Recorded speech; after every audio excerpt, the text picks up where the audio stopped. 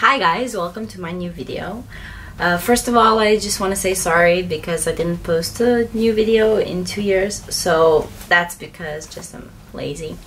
So um, this video is going to be about living in a dorm, which is my personal experience, and um, a little bit of Q&A, which I want to make because I just want you guys to post your questions and then I will respond in the next video.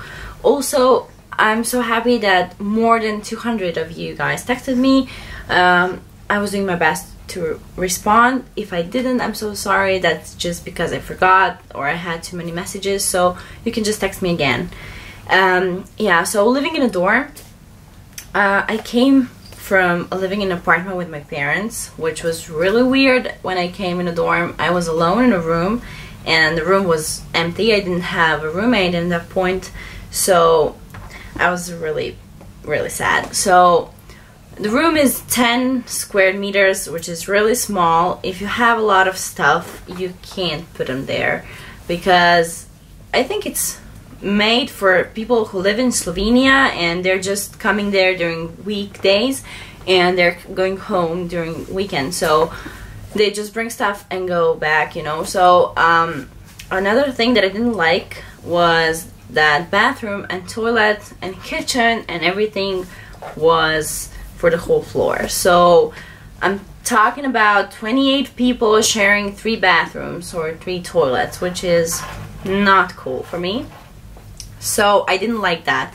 And um, also they have some dorms in Slovenia that are maybe six people sharing one bathroom and kitchen. But this dorm was like this. So I wasn't happy about that. Um, another thing that is cool about dorms is that you have a lot of people there and you're never alone and you can always invite someone uh, or call someone to go somewhere. That's a nice thing. But um, also you have a lot of things to do together during the year and um, you have some uh, games that you do and you have like um, two dorms that are like having a competition that's also interesting. So you can go out and drink and that's a nice thing. Also my personal experience was not that good. Uh, when I had a roommate she was really cool and really nice but the room was really small so when she was sleeping I couldn't do anything so that's maybe not a good thing. Also, if you are living in a country that is not so close to Slovenia and you can't go every weekend home, so I think that's maybe that it's better if you live in an apartment.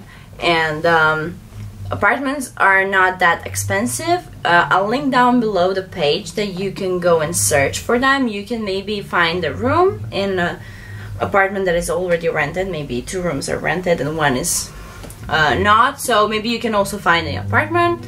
And the price range for rooms if you're alone is maybe 180 plus electricity, water, and everything. Or if you're alone, I think it's from 220 to 250 or something. So that's not that bad.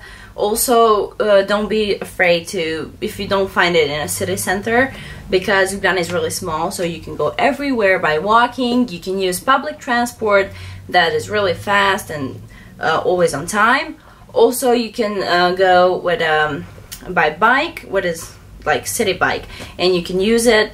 Uh, you can pay it for one year. It's I think three euros or something, and that's not expensive at all. You can leave it anywhere on the bike stations. I can talk about that more in another video if you want to. So uh, I think that's really cool to use and um, also you can just um, that's my personal opinion if that you should maybe go in a, in the apartment if you want to go and experience the dorm you can try it so um, in next video I can talk about some experiences that I had and when I while I was living in Ljubljana if you want to know about that you can just um, uh, write down below also you just write your questions down and I'll film that in another video uh, so thanks for watching and um, I'll post my uh, social networks down below. You can follow me and text me anywhere you want and see you in another video. Bye!